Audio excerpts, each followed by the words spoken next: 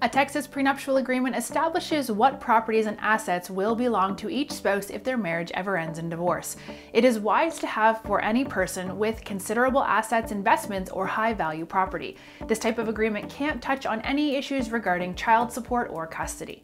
In this video, we'll discuss the Uniform Premarital Agreement Act, the signing requirements in Texas, and the reasons a prenup is considered invalid. Before we start, make sure to grab your template for a Texas premarital agreement at the link below. And don't forget to hit that subscribe button for more videos by eForms, the world's largest database of official legal documents. First, let's review the Uniform Premarital Agreement Act. Texas is one of the 28 states that has adopted its version of the Uniform Premarital Agreement Act. This act was written in 1983 to standardize prenup laws across the country. Next, let's cover the signing requirements in Texas. A prenup has to be physically in writing and signed by both individuals.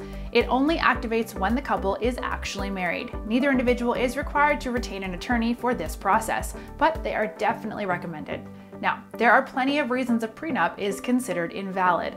A prenup can be overturned if both individuals sign an agreement that nullifies the prenup. If a marriage dissolves, so will an associated prenup.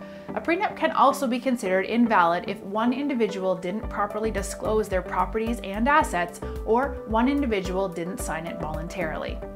So, where can you find legal documents online?